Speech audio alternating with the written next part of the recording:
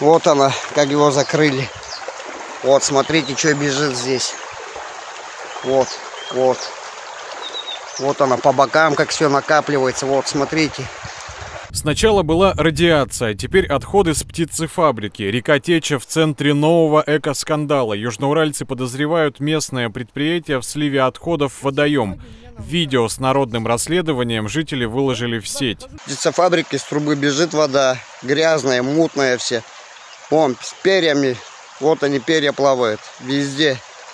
На кадрах видно, как через сточную трубу в течу попадают отходы с перьями. Вокруг ужасный запах и много мух. Летом окна открыть невозможно. Не только от мух. Ну, мух это другой сейчас уже вопрос. От запаха.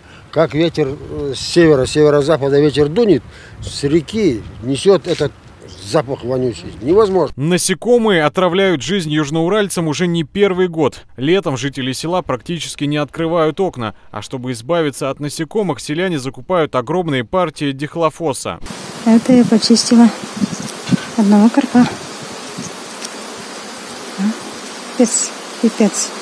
После жалоб специалисты местной администрации выезжали на фабрику с проверкой, но нарушений не нашли. На самой птицефабрике тоже уверены, люди раздувают из мухи слона. Выгоднее платить э, Штраф. мизерные штрафы, чем, так скажем, устанавливать эти фильтра. Возможно, фильтра дорогие, я не знаю, что там. Но, но тут же видно, что не фильтруется ничего. Тут вонь такая стоит.